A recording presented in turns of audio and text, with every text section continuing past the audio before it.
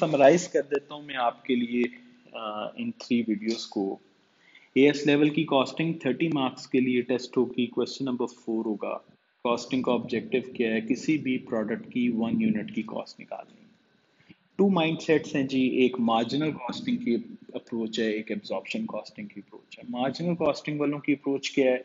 वो कहते हैं, यार, कोई मसला ही नहीं है। जब भी तुम लोगों ने पर यूनिट कॉस्ट निकालनी है, क्योंकि ऑब्जेक्टिव तो पर यूनिट की कॉस्टिंग है तो तुम क्या करो?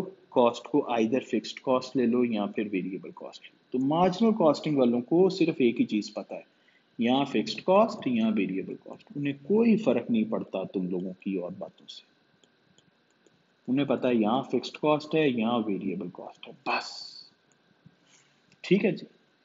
वो जब फिक्स्ड कॉस्ट और एब्जॉर्प्शन कॉस्टिंग वालों को कोई फ़र्क नहीं पड़ता फिक्स्ड और वेरिएबल का, वो कहते हैं, यार कॉस्ट जो है वो यहाँ वेरिएबल कॉस्ट है, यहाँ प्रोडक्शन कॉस्ट है। या फिर नॉन प्रोडक्शन कॉस्ट ये कहते हैं, बिस्मिल्लाह करो जी। वेरिएबल है फिक्स्ड है, हमें क्या लगे? प्रोडक्शन रिलेटेड है तो बड़ी इंपॉर्टेंट है नॉन प्रोडक्शन रिलेटेड है तो बड़ी इंपॉर्टेंट है। इन्हें नहीं पता फिक्स्ड का और वेरिएबल का। ठीक है ना जी? मार्जिनल कॉस्टिंग वालों को नहीं पता प्रोडक्शन का और नॉन प्रोडक्शन का। उन्होंने कहा या फिक्स्ड है या वेरिएबल और कॉस्टिंग वाले कहते हैं, यहाँ प्रोडक्शन रिलेटेड है या नॉन प्रोडक्शन रिलेटेड हम इसको फ्यूचर में डायरेक्ट और इनडायरेक्ट भी करेंगे, इंशाल्लाह। मार्जिनल कॉस्टिंग के जब हम डिटेल में चले जाते हैं तो याद रहे मार्जिनल कॉस्टिंग वाले क्या करते हैं?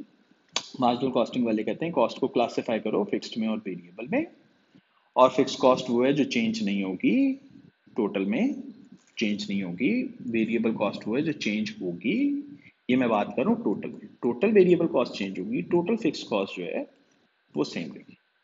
वो जब मार्ज फिक्स कॉस्ट की बात, और फिर ये आपको याद रहे कि जो हमारी फिक्स्ड कॉस्ट हमारी जो टोटल कॉस्ट है मार्जिनल कॉस्टिंग में, वो fix plus variable total cost always equal fix cost plus variable cost marginal costing वाले कहते हैं फिक्स कॉस्ट जो है वो सेम रहेगी फॉर ऑल एक्टिविटी लेवल और जो आपने देखा, अगर फॉर एग्जांपल कोई रेंट है तो that will not change number of units one है टू हैं थ्री हैं फोर हैं फाइव हैं.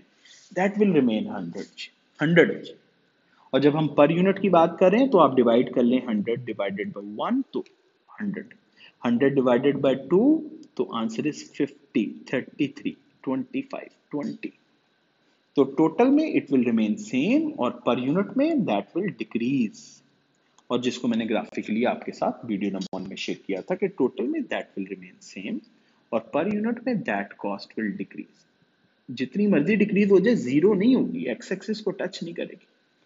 नंबर ऑफ़ यूनिट्स बढ़ाते चले जाओ per unit point zero zero zero zero one हो सकती है ज़ीरो नहीं हो सकती.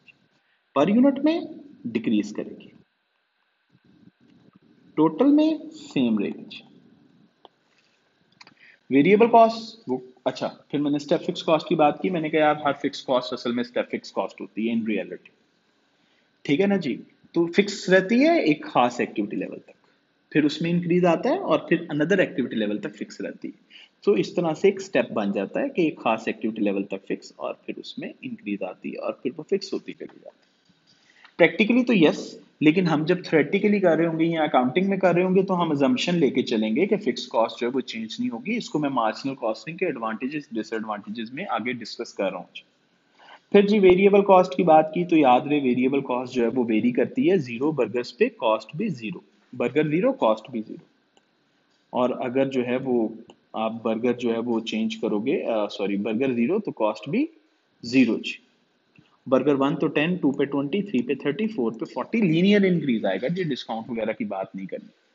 ये भी मार्जिनल कॉस्टिंग की लिमिटेशन में आगे चल के मैं डिस्कस कर रहा हूँ। पर यूनिट जब तुम कॉस्ट डिवाइडेड बाय यूनिट्स करोगे तो आंसर जो है वो सेम रहेगा। पर यूनिट में सेम रहेगी पर यूनिट में पर यूनिट में सेम रहेगी। और टोटल में टोटल में इंक्रीज होगी with increase in units increase होगी या आप समझ लें चेंज होगी। ठीक है जी?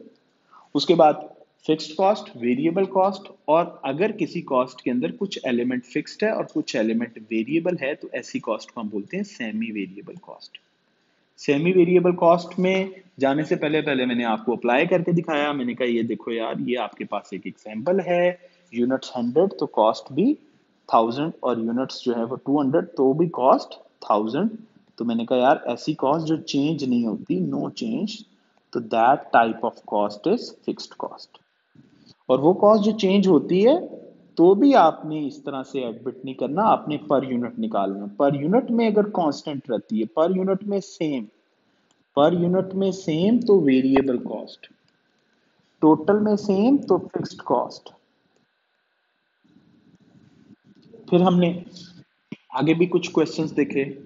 हमने कहा, यार देखो 700 पे 2103 पे 900 पर यूनिट में अगेन आंसर इज़ थ्री तो पर यूनिट में सेम तो वेरिएबल कॉस्ट ठीक है जी? और फिर टोटल में सेम तो फिक्स्ड कॉस्ट और यहाँ पे अगर ये पर यूनिट में डिफरेंट आ गया तो that is semi variable cost और सेमी वेरिएबल कॉस्ट पे y2 माइनस वाई पे ज़्यादा मैंने मेहनत नहीं की, मैंने हाइलो मेथड पे काम किया।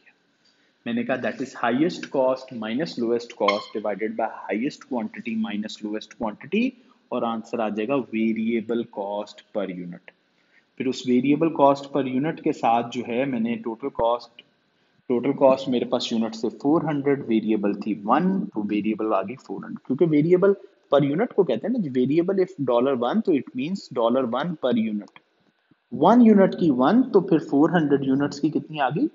400 units की आ गई 400 into 1 400 if variable cost is 400 and total cost is 500 the difference between 500 and 400 is 100 की fixed cost तो फिर another example में भी हमने यही प्रूफ किया